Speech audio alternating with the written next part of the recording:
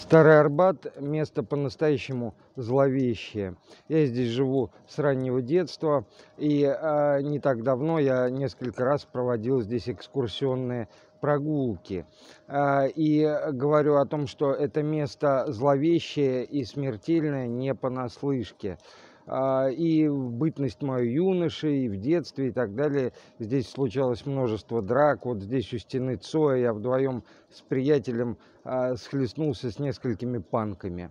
А, вот. Но есть здесь места и поинтереснее стены Цоя, у которой его лицо требует вечных перемен. Дом номер 14, к примеру, который уже не существует, знаменитый дом с колоннами. А в этом доме произошло сразу несколько самоубийств. Началось все с князя Хилкова, а, который а, увлекался черной магией, и у него был свиток Брюса, колдуна и сподвижника Петра I. А, и лакей как-то спер у него этот свиток, а потом, испугавшись, что хозяин его накажет, он выбросил его в печь. Князь Хилков вышел в шелковом халате и вопросил, где мой свиток?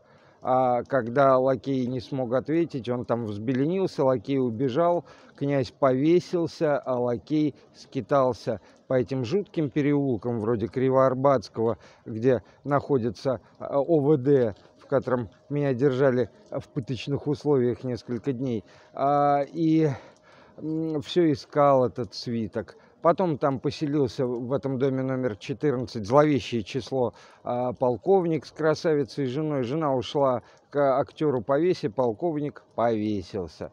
Потом а, чиновник с женой и пятью детьми. А, трагическая участь. Чиновник приходит с работы, жена и пятеро детей мертвы.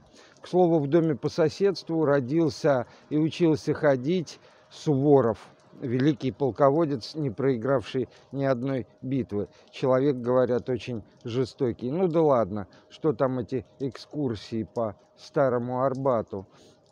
Просто я решил рассказать вам о подробности этого места, раз уж мы оказались здесь. А вот театр Вахтангова, ну скажу пару слов позднее. Поговорить я, друзья, хотел о другом. О войне и мире.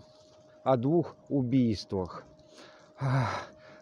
первое из которых называют ликвидацией, да и второе, возможно, тоже те, кто это сделал, убийцы, палачи. А как удобно взяли и приучили сознание человека убивать плохо, но ликвидировать это хорошо, потому что у нас показывали сериал «Ликвидация», в котором героический актер убивал всяких бандитов.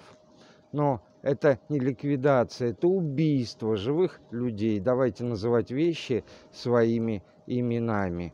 Итак, э, в Липецкой области, Усманском районе Силонова-Углянка э, был убит вчера э, Дмитрий Перов, 31-летний мужчина, который дезертировал из зоны СВО, хотя уместно ли применять термин дезертировал, ведь это не война.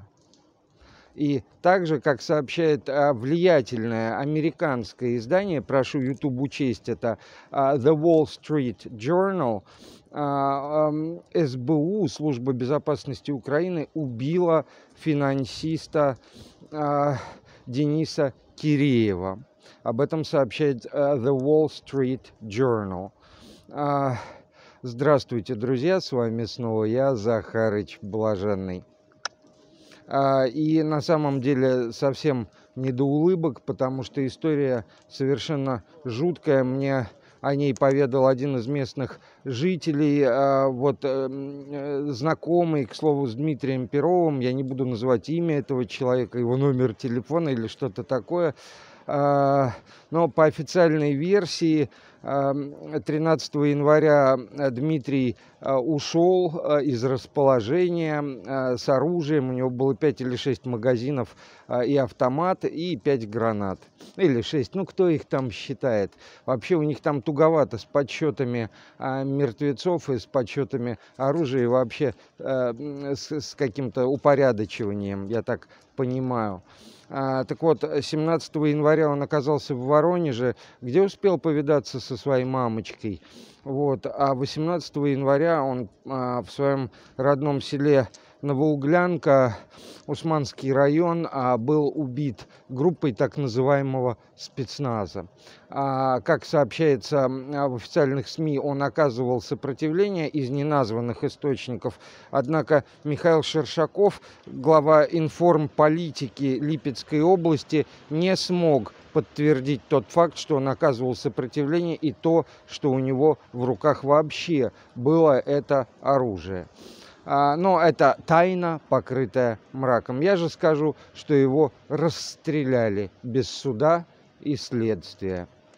А, и знаете, на этом фоне, э, ну, конечно, сотни тысяч мертвецов, сотни тысяч невинно убиенных людей, э, и их заставляют ненавидеть друг друга. С той стороны кричат оккупанты, с этой стороны кричат э, прочие мерзости. Безобидную прекрасную траву укроп превратили в чудовищное плохое слово. А, так вот, а, The Wall Street Journal пишет о том, что Денис Киреев, финансист, человек с большими связями, 45-летний мужчина, он, к слову, помог не взять Киев в начале так называемой СВО. Э, об этом рассказал глава военной разведки Украины Кирилл Буданов. Э, он обратился к Денису Кирееву, и тот поделился с ним э, важной инсайдерской информацией. И так им удалось не сдать Киев а затем а, к нему, это все следует из статьи The Wall Street Journal, а, к нему а, он был с телохранителями в Киеве, к нему СБУ а, подкатило, разоружили телохранителей, его увезли, а спустя полтора часа а, его мертвое тело было, скажем так, обнаружено. Дальнейшие подробности не раскрываются, но это мрак, ужас и э, погонь кровавая а, прости Господи. Я не знаю, как, каким был человеком Дмитрий Перов и каким человеком был Денис Киреев, но это минус два славянина, а, и они оба погибли как бы а, не в зоне боевых действий, но они оба погибли вот этой зловещей аббревиатурой. И а, Царствие им небесное, упокой, Господи, их души. Вот что я вам скажу. И знаете, э, люди, люди России и люди Украины. Многие десятилетия нас с вами грабили, чмырили, унижали и уничтожали. А теперь завершающая фаза. И самое мерзкое, я смотрю YouTube и вижу там множество выступлений, сотни тысяч просмотров. А, и там в этих выступлениях выходцы из РФ, а, ну, украинцы, понятно, а, пишут невероятной ненавистью и яростью к людям России. А, люди, выходцы из РФ, многие из которых сами принимали активное участие в разграблении нашей с вами Родины, а, увезли туда денежки, сделали себе хорошие финансовые подушки, свой приплод туда увезли в безопасность, а, а теперь они гадят на Россию, обзывают нас с вами, народ России, какие мы плохие и так далее и тому подобное. Куча-куча эпитетов уехали в Израиль, в Германию, Францию, в Европу куда-нибудь. И а, вот такие дела. Вон едут каратели, постараюсь тихонечко удалиться. Вот. Что ж, дорогие друзья, а, желаю вам хорошего настроения. Подписывайтесь, ставьте лайки, пишите комментарии и поддержите мой труд. Нет, они уехали, каратели, а я тогда договорю пару слов. А, не хочется, конечно, в Кутузке оказаться, мягко говоря, и все такое. А, я договорю. Стыд вам и позор, уехавшие из России и поливающие ее грязью. Я говорю не про тех даже простых людей, которые убежали сейчас, убежали в лишениях и страданиях. Я говорю про богачей, про варье, а, про всяких олигархов, а, про Чубайса, а, который принял активное участие в уничтожении России, а теперь весело и радостно тусуется за кордоном, в шортиках, жрет хорошую еду и с хихиканием смотрит, как мы с вами погибаем. Стыд и позор. Но тут стыда мало, это кровавый стыд. Что ж, друзья, и знаете, что я совершенно один, потому что я не подхожу ни тем, ни этим, да и не хочу я быть ни с теми и ни с этими. А, а, тем не подхожу, кровь не очень чистая. А, э, этим не подхожу, кровь не очень чистая. И вообще я псих сумасшедший. Но родину я люблю. Убегать отсюда я никуда не собираюсь.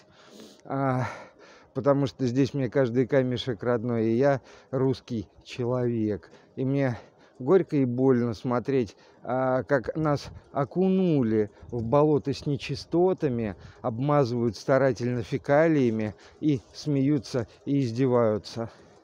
Знаете, вот а, певица Юлия Чечерина сейчас бегает там с пулеметом Дегтярева, Дегтярева, простите, стреляла там из него и так далее, аж ее сотрясало от отдачи. А, и она там выступает за эту специальную спецоперацию.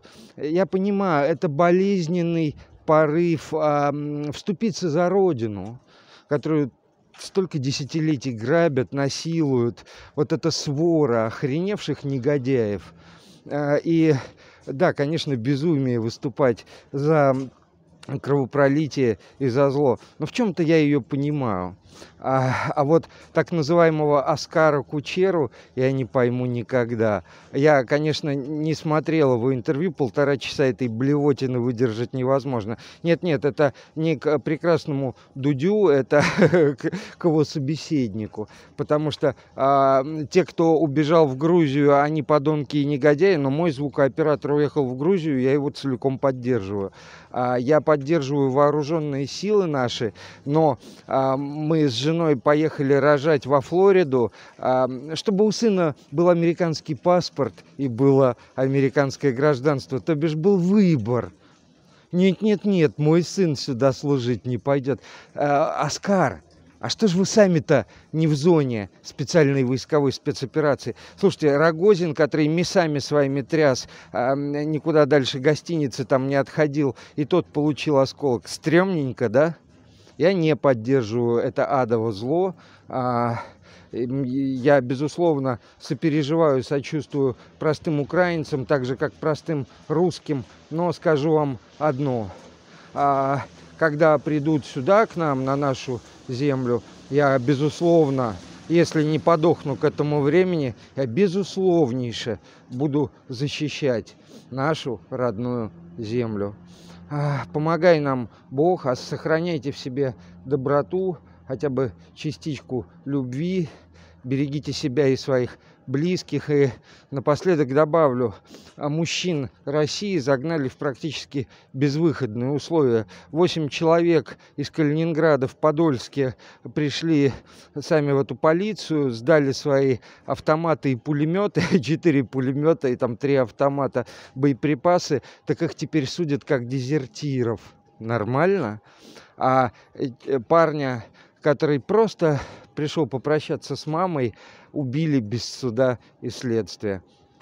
Мы с вами для тех а, оккупанты, людоеды, негодяи или трусы, потому что не боремся с режимом, который им помог, помог нас обворовать, а, а для этих мы с вами издержки. Пробуждайтесь, дорогие друзья, мужики, нам с вами рассчитывать и надеяться, кроме самих себя, не на кого.